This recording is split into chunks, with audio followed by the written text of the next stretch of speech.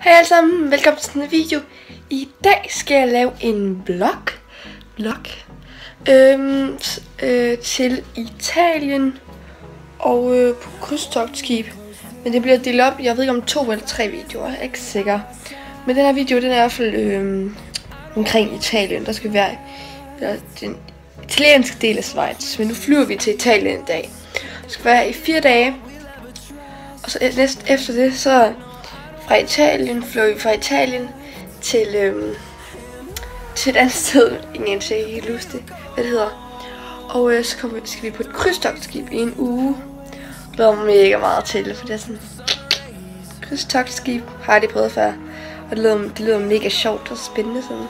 Så ja, og det er sådan middel, ved Middelhavet og sådan Spanien, Mallorca, dernede omkring. Vi skal i hvert fald være.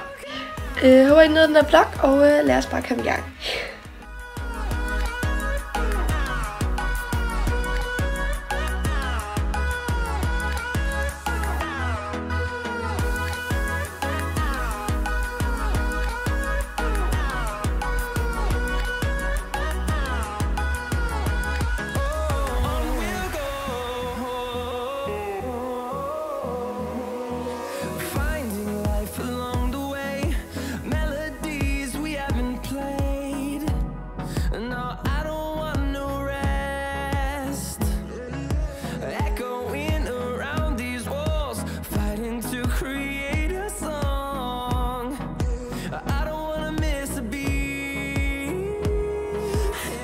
Godt, øh, nu er vi kommet hen til lejligheden, sommerlejligheden.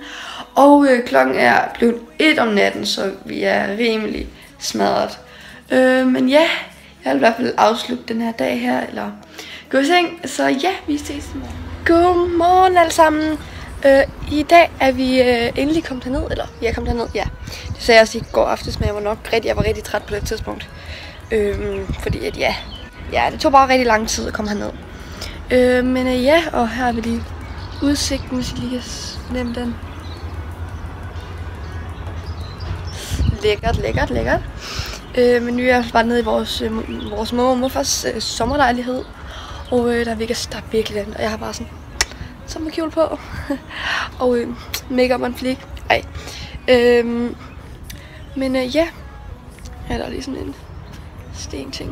Yes. Godt, øh, nu skal vi ned i byen, så vi ses i hvert fald lidt senere.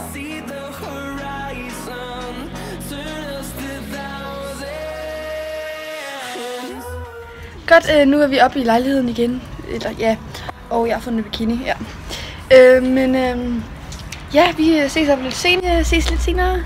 Godt, øh, nu ligger jeg lige på terrassen, og øh, det regner faktisk lige noget. Men kan vi se det? Det kan jeg nok ikke, men øh, ly, det regner, og så tordner det. Men det lyner ikke lidt. Det er sådan langt væk.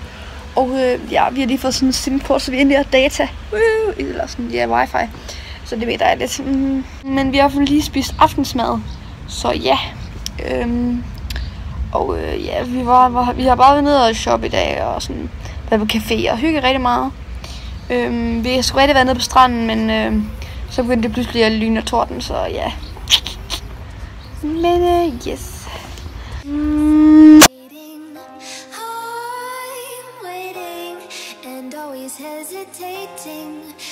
alle sammen, velkommen til dag 3.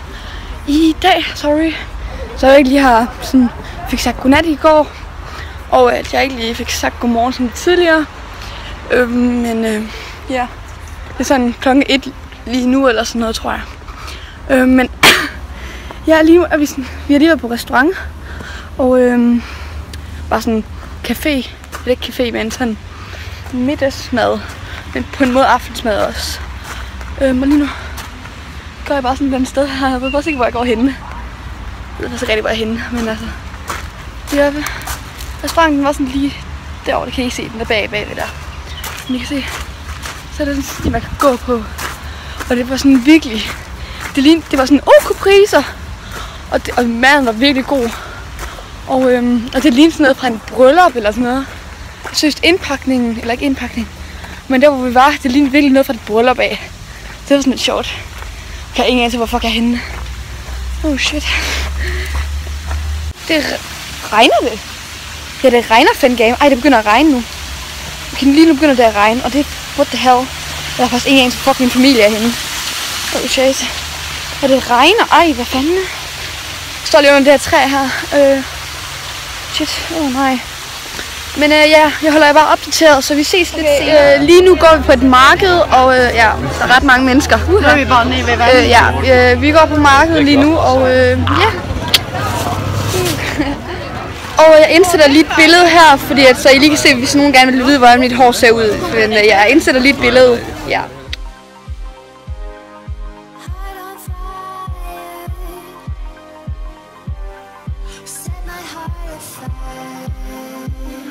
Godt, lige nu har vi aften, og, og øhm, ja, vi har været på markedet, det har jeg godt set.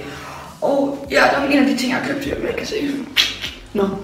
Øh, men vi har været på markedet, det er mega hyggeligt. Og øh, ja, det her det var sådan, nu vil jeg sige godnat, som siger på en måde. Øhm, men vi ses i hvert fald i morgen. Hej hej! Hej sammen, jeg ved ikke, om I kan høre mig lige nu, men øh, vi sidder på en restaurant, og øh, vi har faktisk allerede aften, jeg har faktisk ikke filmet hele dagen. Ja. Fordi vi har været nede ved stranden, og vi har været ude og gå på, gå ud og gå på gågaden. Så ja, og fået shoppet, så sorry for det. Jeg har ikke så mange clips fra i dag, men jeg ser- indsætter nogle clips. Jeg har ikke så meget filmet i dag, men altså, ja. Men øh, vi øh, ses fald lidt senere, tror jeg forhåbentlig. Prøv lige se den hund deroppe. Åh, den er sådan putter ud over. Ej, hvor var det cute, det der. Nå.